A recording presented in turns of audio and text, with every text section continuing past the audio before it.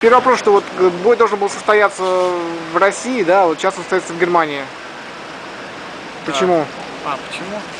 Ну, во-первых, э, та компания Руслато немножко э, не рассчитали силы, скажем так, и э, немцы предложили более лучшие условия, чтобы этот бой прошел в Германии.